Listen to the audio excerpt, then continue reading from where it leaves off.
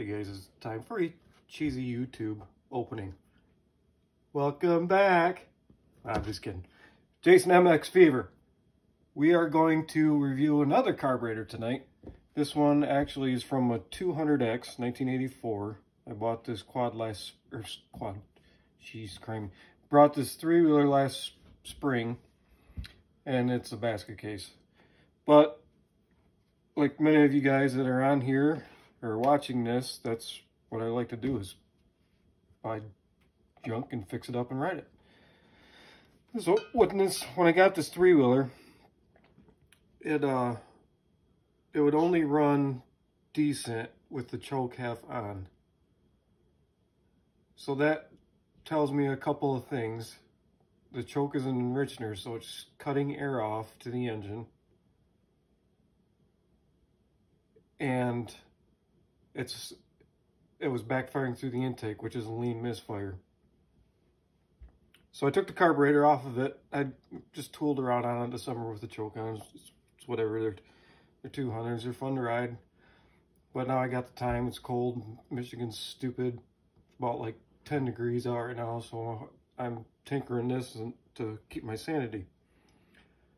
So I wanted to take this car. I took the carb off just, just a few minutes ago. I have not taken the carburetor apart. I thought you guys may um,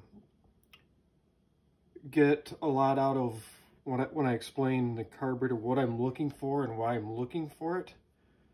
So the, um, the, let's get, I guess I just, tongue tied. Okay, let's get the camera in here close because I was really surprised by this. 1984 the screws have never been out. So I brought these pair of vice grips because you guys know, or if you've ever gotten into a carb that somebody's been into a bunch of time, they always strip these things out. The best way to get them, and I'm not going to do it because I'm going to try it with a regular screwdriver first, is just latch on them with a pair of vice grips like that, give them a turn. Let's give it a go. Like I said, I have not been into this carb yet.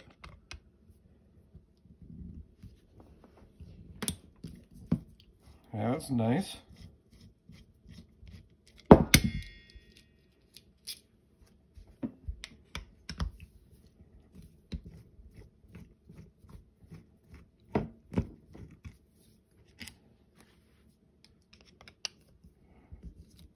Okay, now before I um, take the fuel bowl off, there may be still some gas in here, so forgive me, beautiful bride, if I get gas on our kitchen countertop.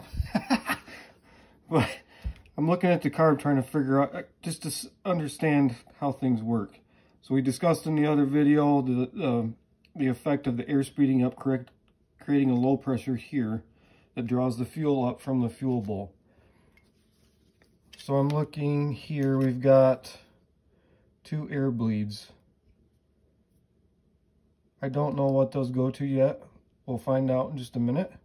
One of them has to go to the uh, main jet emulsion tube and the idle jet emulsion tube. Oh, wow, that's a little guy. So there is the hole for the fuel mixture screw. I did not touch on this in the last last one. So there's mixture screws on the carb. If it's on the side with the air box, it is a air mixture screw. If it's on the side going to the engine, it's a fuel mixture screw. So that's what this screw is right here. That's what meters the amount of fuel that comes out of that tiny little hole right there. This screw right here controls your idle. So this is a round slide. As the slide goes up and down, it, the screw stops it. probably won't see it, but there's a small opening right here, and there's that's what meters your air going to the engine for your idle setting. If I were to turn this in, it would move that slide up, but the, the three-wheeler idles is fine, so I'm not going to mess with it. So the choke, that's wide open. The thing would lean misfire through the intake and completely fall on its face when it was wide open. If it was in that position, it's got less air going to it, so it's drawing more fuel in through these air bleeds. So let's take this apart and see.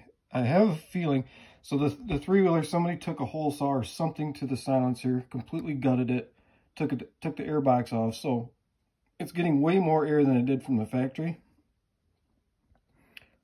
So I think we need to do a jetting change. So the, the intermediate circuit of the carb is in this needle. And most needles have a setting.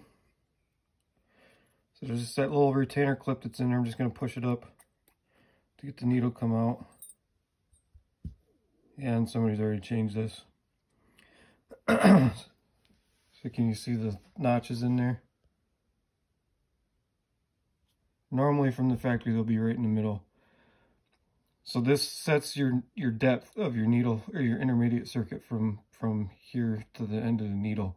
As it comes out of the main jet, allows more fuel in. If you lower the clip, it raises the needle, enriches the intermediate circuit. If you drop it down, excuse me, it, it leans out your intermediate circuit. I don't want to be lean because I'm already lean. That's why I took the carb off, take it apart. So let's take the bowl off, see what we got in here. Forgot the other screw.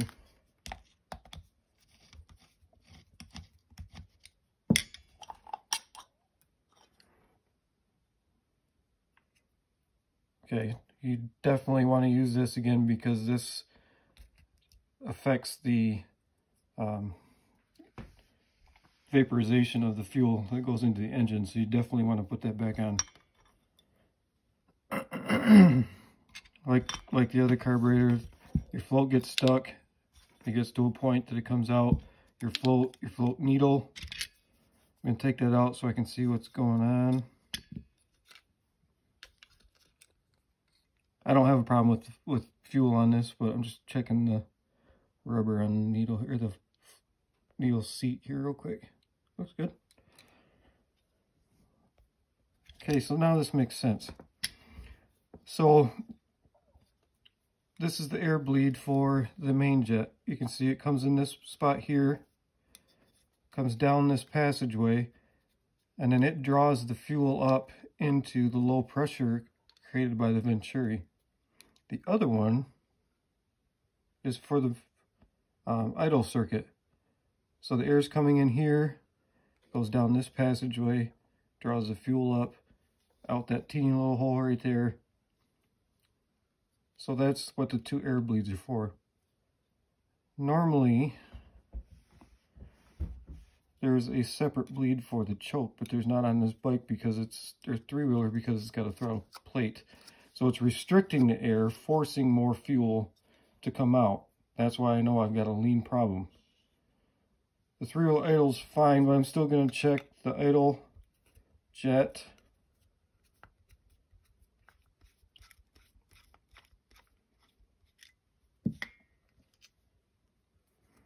No, a lot of times, because these holes are so small, you got to hold them up to the light. And I can see light through it, so I'm not worried about that one. Then this is the main. Got my metric crescent wrench. And it's taking the whole thing out, which is, which is fine. So this is the emulsion tube. Can you see them tiny little holes in there?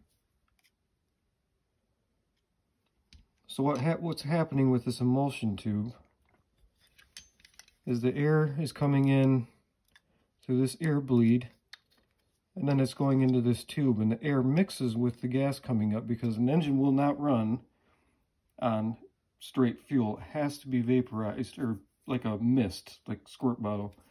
So the air mixes with the gas coming up through the through the main jet, the emulsion tube, comes out into the needle opening and then it's a it's a mist as it goes into the engine because gasoline's hard to hard to ignite with just liquid.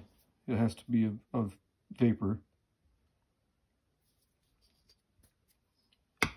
And if I can see through this, which I can, leads me to believe that I need to rejet this.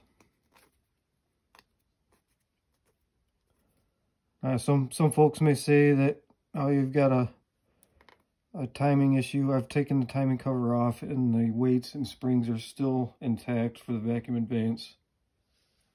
Or not for vacuum advance, for the spark advance. And I may look this up online, but if you look really close on the jet, there's a number. It's 108. So it looks like I'm going to the uh, dirt bike store tomorrow to find a different jet.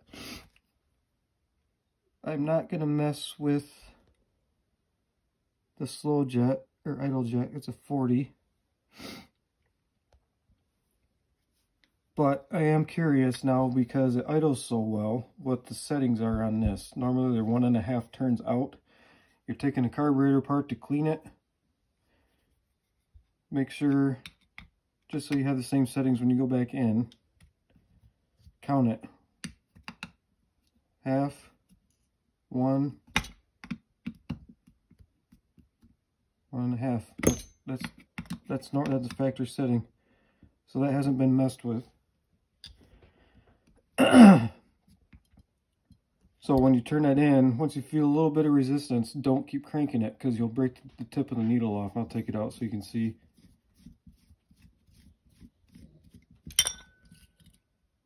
That's a tiny little needle right there.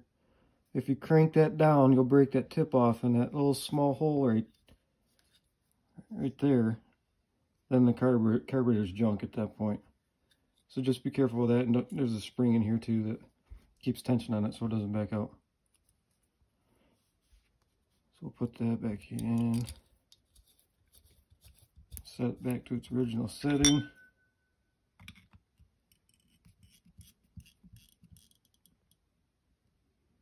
Half, one, one and a half. So that's good to go. So I am going to the part store, the dirt bike store tomorrow, see if I can get some different uh, main jet. I do have one more notch I can move on this uh, needle, but that's not going to make enough difference for as bad as this thing runs with uh, the open airbox and the silencer being cut open. So they basically just gave the engine a bunch more air that it, it can't compensate for with the main jet size and a needle jet that it's got in it. So that's the explanation of a 200X carburetor. I've never been in one of these, but hopefully this helped you for you guys to see what I was looking for, the passages passages in the carburetor, understanding how they work. And I'm probably going to bump this up what I say this was? 108. Probably going to go at least a couple. I'll get some different sizes and try it out. If it doesn't make it run better through the mid-range after that, then I'm going to start looking at other things, but I'm pretty sure this is a fuel issue. Could be timing, I doubt it. Um, but this is something to rule out that's easy. It took me 10 minutes to get the carb off of it. So thanks for watching, you guys. Uh, give me a like and a subscribe, and stay tuned.